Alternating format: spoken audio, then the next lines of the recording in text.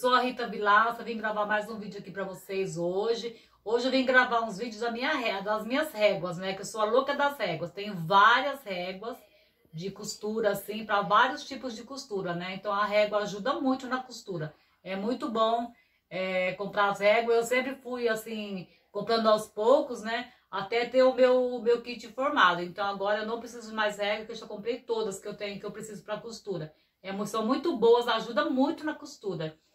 E vocês viram que eu tô com o cabelo diferente, né, gente? Eu, eu deixei de deixar meu cabelo grisalhos, né? Em breve vou gravar um vídeo pra vocês, mostrando por que eu mudei de ideia, por que eu pintei novamente meu cabelo. E lá, semana que vem eu vou passar uma tinta também. Vou fazer um novo vídeo pra você. Então, daqui a pouco já segue o vídeo pra vocês aí das réguas, tá bom? Espero que vocês gostem do meu vídeo sobre as réguas. Clique, no, clique em gostei, curte os meus vídeos, compartilha, é, seja inscrito no meu canal. E se você tiver novas ideias assim, de vídeo para me mandar, pode me escrever, pode comentar nos comentários. Eu respondo todos os meus comentários, todas as pessoas que comentam para mim, eu respondo. Alguns entram em contato comigo pelo WhatsApp também, eu respondo. E espero que vocês gostem do vídeo e até já. Então, gente, como eu vim gravar para vocês um vídeo da régua, eu tenho essa régua pequenininha, que pode ser uma régua escolar também. Ela é de 20 centímetros, de, não, na verdade, 15 centímetros, né? É uma régua que eu uso bastante. Essa aqui também é uma régua escolar, essa é de 20 centímetros, né? 20 centímetros. Ela tem um buraquinho assim para você pendurar ela, então eu gosto muito dela. É uma régua bem, bem basiquinha. Essa aqui é uma régua escolar normal, de 30 centímetros. Ela tem esse buraquinho também, que eu gosto muito, né? Que eu posso pendurar ela também. Daí eu tenho essa régua aqui bem grandona. Ela é de metal, né? Ela é muito, ela é grossa, ó. Dá até pra cortar com cortador também. Porque ela tem aqui o... Eu não sei quanto, quantos milímetros que ela é, né? Mas ela é bem, bem grossona, né? É uma régua muito boa pra costura também. E ela é bem forte. Essa, essa aqui também é uma régua mais larga. Às vezes, quando eu vou fazer uma tilacê, eu uso essa aqui, às vezes um tecido muito grande, eu uso essa aqui para riscar, risco desse tamanho. Essa régua também é de aço, né? Ela tem, ela tem 30 centímetros, ela também tem uma argolinha aqui para mim pendurar, então eu penduro para ficar mais organizada, né? Ela tem essa capinha, que eu coloco ela dentro da capinha, né? Coloco ela dentro da capinha. Daí eu tenho Vou mostrar pra vocês. Eu tenho essa régua pequenininha, né? Pra fazer canto, assim, ó. Ela é muito boa, é da Lamax que eu comprei. Eu paguei bem baratinho nela, é uma régua muito boa. Não sei se vocês estão conseguindo visualizar direito. Aqui eu vou pôr aqui no tecido vermelho pra vocês verem. Deixa eu empurrar essas réguas pra cá. É uma régua bem basiquinha, mas ela é muito boa também. Tem essa régua aqui, inclusive aconteceu um acidentinho com ela, né? Eu derrubei ela no chão, deu uma trincadinha aqui. Aqui tem o, o canto arredondado, né?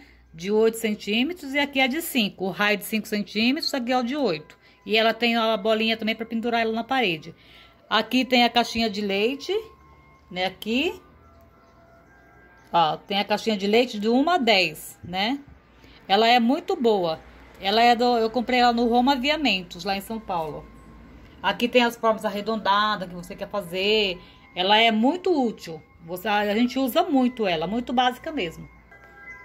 Quando eu comprei essa régua, eu comprei lá no Roma Aviamentos, como eu falando pra vocês, eu paguei R$14,50. Ela é 20 por 20. Isso foi em 2000, foi em março, foi em julho de 2020 que eu comprei ela. Eu paguei esse valor. Hoje em dia não sei qual o valor dela, né? Se ela baixou, se aumentou, não sei. Daí eu tenho essa régua aqui também, né? Ela é bem basiquinha. Essa aqui eu comprei também lá no Brás, eu paguei R$5,90. É para fazer caixinha de leite também. Que eu comprei essa primeira, depois eu comprei a maior. Eu comprei primeiro a pequenininha. Ela tem do, do ângulo do, do 3 até o, o 10, né? É uma régua muito boa também. Ela é, você usa muito na costura. Daí tem essa, essa aqui, essa aqui, né? Que dá pra você fazer bastante curva, bastante coisa assim. Comprei no Roma Aviamentos também. Eu paguei nela 8,00 reais. Eu comprei em agosto de 2020. É uma régua muito boa, que você pode fazer curvas, né? Ela é bem basiquinha também, mas é uma régua muito boa. Eu uso muito também. Essa aqui também, né, que é, o, é os dois, comprei dois. é para você como cortar no montana, no montana, corino, corvim, que você pode fazer as alças, né, que você coloca assim em cima e recorta para fazer, ó, triângulo, dá para você fazer várias coisas. Ela é assim, né? Ela é de um, é tipo uma MDF, né? Eu comprei no Carrossel da Arte, mas eu comprei no, numa uma loja que vendia produtos Carrossel da Arte. Daí ela tem aqui um centímetro, 4 centímetros, 2 centímetros, 3 centímetros. É uma regra muito boa para você fazer, cortar vazados, né? Para fazer alça, coisa assim. Essa aqui também é para fazer alça também, né? Dá para você fazer alça, dá para você fazer... Tem essa bolinha aqui, né? Fazer quadrado, quadradinho. É, várias alças você tem, entendeu? Ela é muito... Então, ela é uma régua muito prática, né? Que você pode colocar... Você coloca o montana, o couro montana assim, depois coloca ela por cima, risca ela, né? E depois você pega uma tesoura bem, bem afiada e recorta. Ela é uma régua muito prática para fazer alça, dá para fazer várias coisas, tanto essa régua aqui como essa, ó. As duas. E elas são bem duráveis, porque elas são de MDF, né? Um material bom, assim. E ela tem argolinha aqui, que eu penduro elas também. Elas são muito práticas. E eu não, eu não lembro quantos que eu paguei nelas, mas eu acho que parece que foi 25 reais cada uma. Mas faz tempo, eu comprei também em 2020, que eu comprei elas. Elas são muito boas também, muito práticas também, muito, dá pra você usar muito. Tem essa régua aqui, que é pra fazer... Matelacê. Matelacê, né?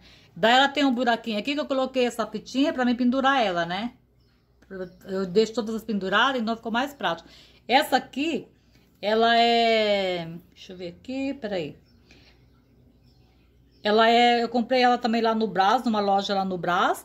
E ela é, parece, de dois, de dois centímetros, né? Cada, cada vãozinho desse é dois centímetros, ó. Dois centímetros, ó. E ela é muito boa também para você matelacê. Você coloca no, na, na peça, né? Na, que você vai fazer matelacê. Risca, pode riscar com giz. Ou então aquela canetinha que apaga o calor do ferro. Daí você risca para você fazer. É muito prático, ela ajuda muito. Aqui também ela, eu derrubei ela no chão, né? Deu um trincadinho aqui nela, mas eu passei um durex e tudo, tudo certo, né? É uma régua muito boa também. Eu comprei também lá no Brás. Daí tem essa aqui. Essa aqui é um pouco maior. Tem um buraquinho também, que eu pendurei, pendurei aqui um, uma fitinha de cetim. Eu comprei lá no Brás também. Essa aqui já é, ela é mais larguinha, né? Essa aqui eu acho que é 3, ó, 3 centímetros. Então, você faz uma telacê de 3 centímetros nessa aqui. Daí, você coloca em cima da peça que você vai fazer uma telacê, risca, né, com o giz ou com a canetinha que apaga com ferro. E ela é muito prática também, você faz muito rápido. Para fazer necessaire, o porta-moedas, coisa pequena assim que você vai riscar, você coloca assim já risca tudo. É muito prático. As duas são bonitas. Fica bonito, tanto essa fica bonita, mas como essa. Mas eu gostei mais dessa, porque essa aqui fica preenche mais e eu acho que o matelacê fica mais junto, mais menor, né? Fica mais bonito. Mas as duas são muito boas. As duas réguas ótimas também.